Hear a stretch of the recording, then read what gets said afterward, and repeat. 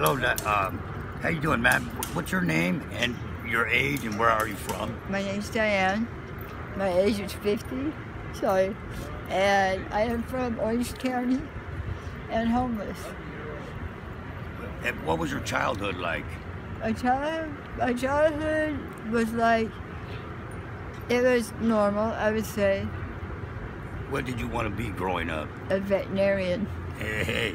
What's your What's your dog's name? My dog's name's Brandon. Brandon Walsh from 90210. and um, I had him since I was he was four months old, and he's like he's my companion. Mm-hmm. And he ha- he worries about me if I'm not in sight. He cries like a big baby, like a real baby. Well, we only have a couple more questions, okay, and sure. people get to know you better. What is your happiest moment up to now? My happiest moment up to now, my happiest moment is my family, my two dogs, and my wife I've been with for 12 years. Amen. What's your wife's name? CJ. And what is your most painful moment up to now? My pain, painful moment is I lost my mom in 1999 and I still think about it, and it hurts. Um, she hung on for four days before her birthday, and then I showed up.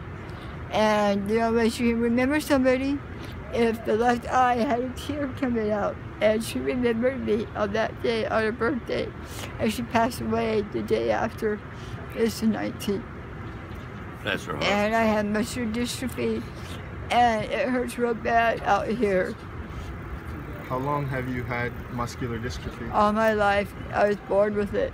Wow. Yes. Can you explain some of the challenges of having muscular dystrophy and being Well, homeless? I'll tell you that how I explain it is there's a little bug inside me, not a real bug, but there's a bug and it eats my muscle tissues. And no matter how much exercise I get or whatever I eat, it's my muscles still here, here, um, how you say it? like They dissolve, you know? And um, it's hard for me to get off the ground. It's hard, I can't lift nothing over my head. It's, it's really difficult. But I got, I got Jesus, and He's the one that, you know, tells me I can do it. Okay, uh, number five, who's the most important person to you? Right now, the most important, number one, Jesus, but my family, the only family I have, like I said, is CJ and my two puppies, Brandon and Toby. And what are you grateful for? I'm grateful for breathing every day. Amen. And last question, if you could give any advice to a teenager, what would you tell them? I would tell them, stay in school. Whatever you're gonna go for, go for it. Don't, if, if you feel like you're down if people put you down, don't believe them. You got it and you can do it. I dropped out of school in 10th grade and I regret it. God bless everybody. Thank you so much, Diane, for just Yeah. sharing your life with us. Um, I know it's okay to cry, and I know that your testimony and your story and your words will touch the hearts of some high school students. I hope so because stay in school. Please stay in school.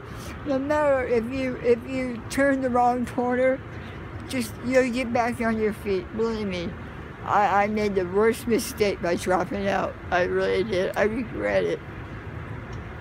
Thank you, Diane Thank and, you. and Brandon. We, we appreciate you both so much, and I can't wait for you to see your portrait. Thank you.